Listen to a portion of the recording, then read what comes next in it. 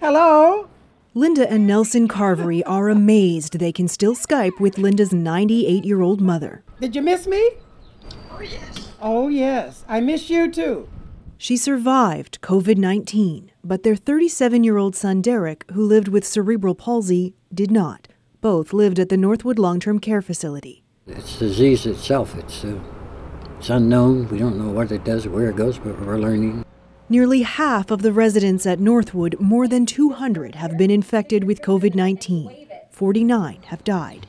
That accounts for almost all of the deaths in the province. There's been far too many deaths and far too many cases of an outbreak that I, I feel should never have happened in the first place. How did this happen?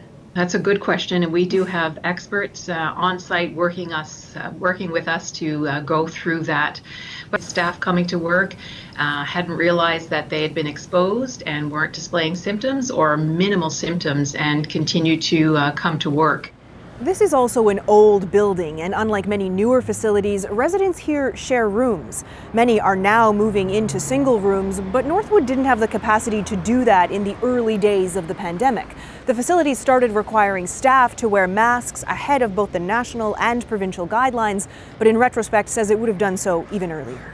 This just reminds us that when you delay the implementing of key evidence based pieces of information in a fast moving pandemic, days you know, can actually translate into lives. The Premier is defending the response of both the province and Northwood. Uh, long before the federal government made any protocols around long term care, we locked down our long term care facilities. Uh, we were preventing family members from going in. The only people allowed in were people who were working in there.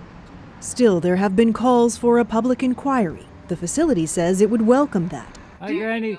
The Carverys say they feel Northwood did everything possible. They're grateful her mother is still alive.